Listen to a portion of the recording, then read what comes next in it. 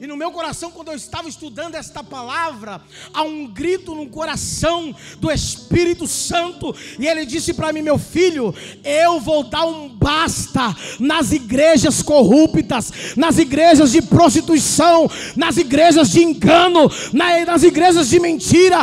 Eu vou entrar nestas igrejas e limpar o altar.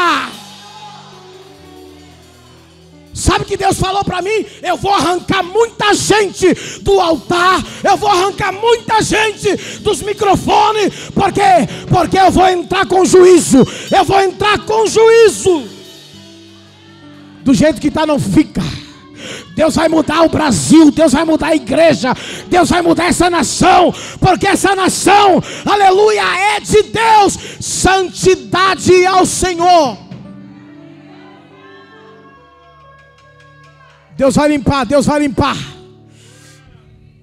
Há uma geração de corruptos no altar, há uma geração de pessoas que estão abusando da palavra de Deus, mas Deus está dizendo: eu vou entrar com a minha mão e fazer uma limpeza.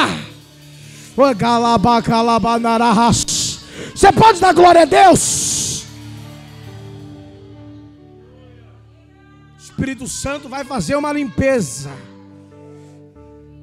Limpeza, limpeza, limpeza, limpeza, limpeza. Quando eu falo limpeza, é em cima do altar. E do altar vai para a nave. Pastores adúlteros vão ser tirados. Pastores que em cima do altar cometem pecados que desagradam a Deus vão ser arrancados. Pastores que se drogam antes de uma mensagem para pregar vão ser arrancados, vão ser envergonhados, vão ser tirados, porque ainda a igreja tem dono. Deixa eu dizer algo para você, o meu coração queima com isso. Esse CNPJ pode estar no meu nome, mas a igreja não é minha, a igreja é do Espírito Santo. Quem morreu na cruz não foi pastor Alex, não foi bispo, não foi apóstolo, foi Jesus. Meu Deus, eu estou sentindo Deus aqui, Daniel. E sabe o que ele está dizendo? Eu estou andando na igreja e sondando os corações. Sondando!